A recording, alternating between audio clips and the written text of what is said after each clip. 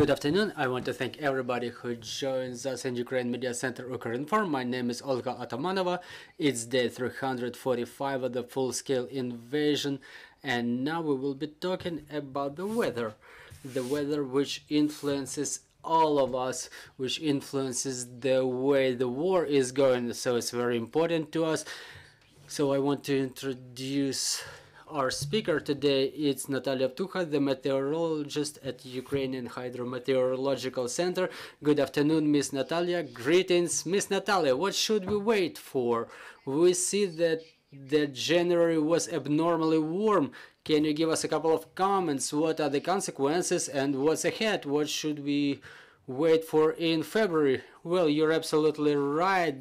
January was abnormally warm this year and according to the calculations of our specialists it was uh, in many meteorological stations it beat all the records of the temperature indicators both during daytime and average daily at more than 115 meteorological stations in Ukraine during all the history of observations and it's about 140 years.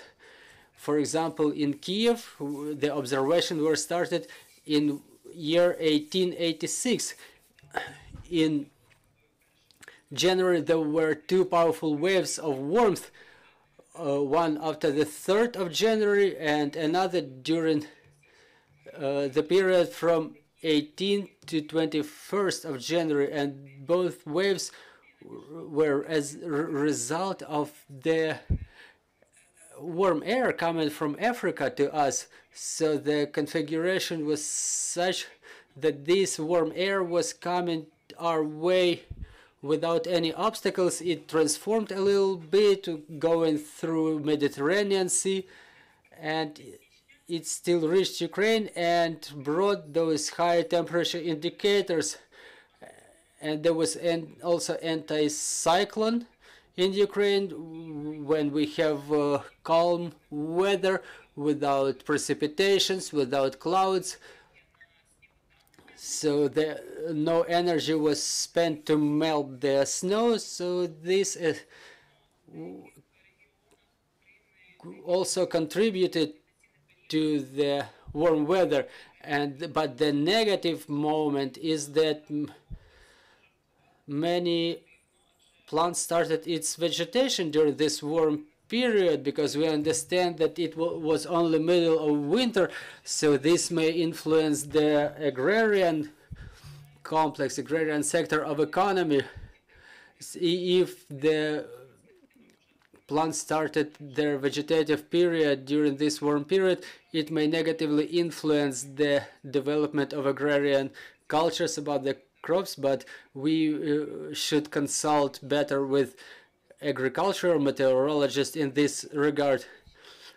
Uh, but the positive thing is that there was no significant load on our power grid thanks to those abnormal, abnormally warm temperatures in, in January.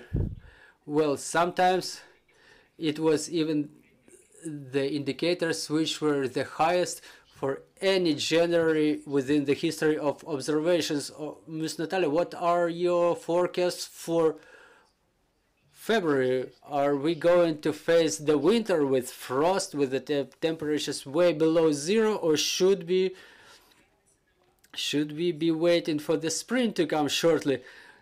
Well, it's not time to relax just yet because we already we were already feeling it this week.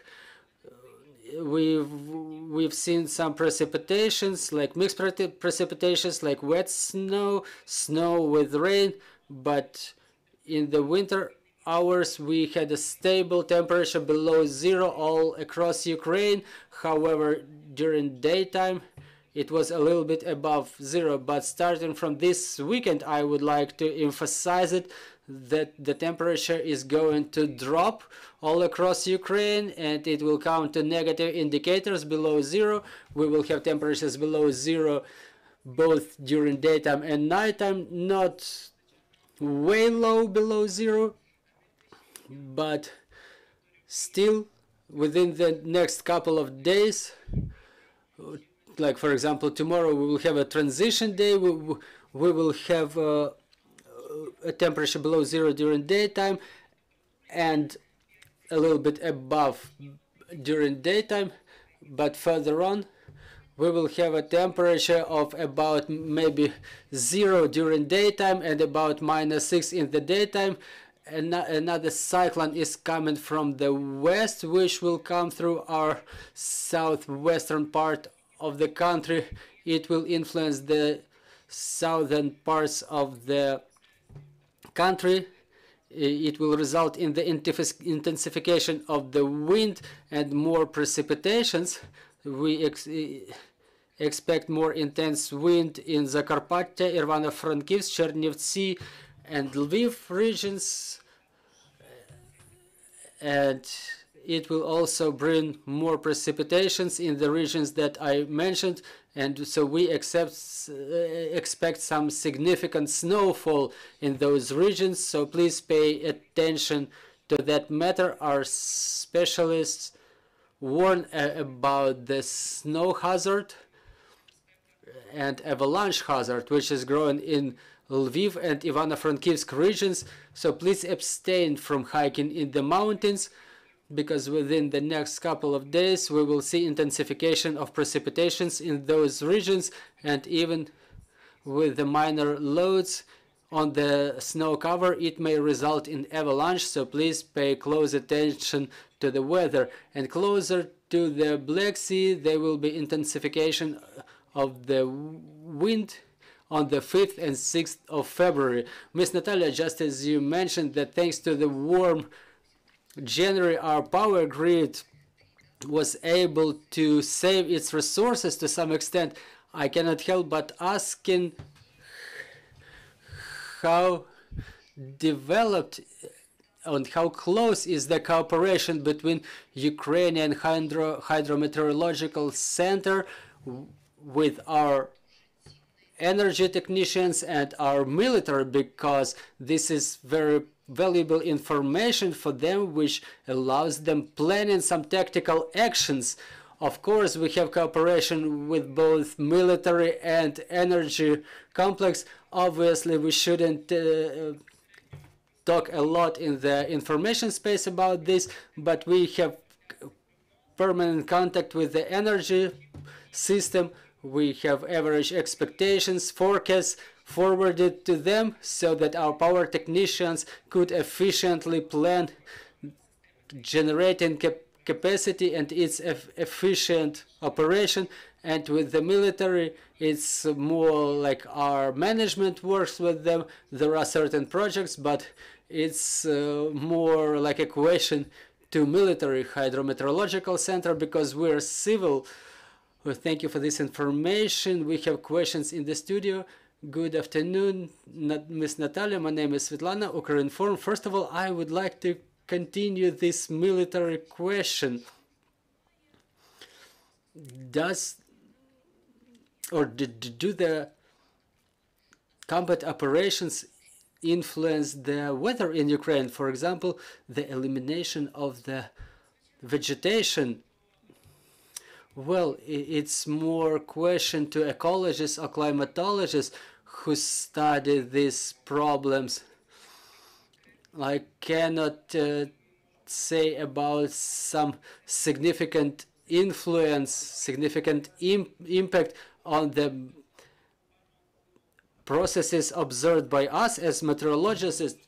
Meteorologists, we cannot track it so far, but it's better to ask climatologists. There are certain studies in the Institute of Climatology how the combat operations influence the fire conditions. Uh, for example, when there is harvest in summer uh, during extended dry period and shellings that may result in fire.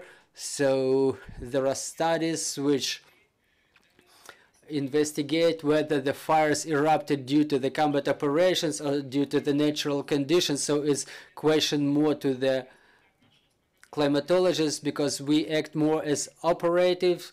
Meteorologists uh, our duty is the forecast for the short period.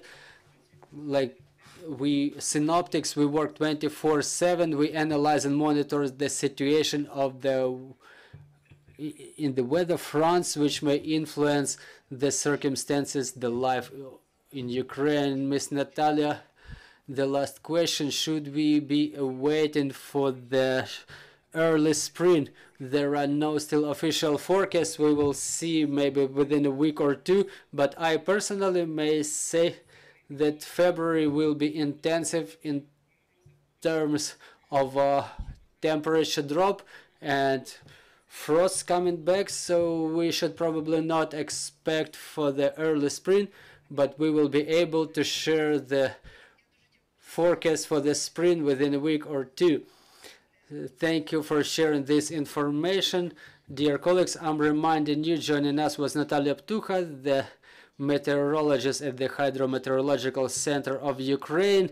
Our team is preparing on the schedule for the next week, so bear with us, follow our announcements, trust in our armed forces, and work together for the victory. Glory to Ukraine.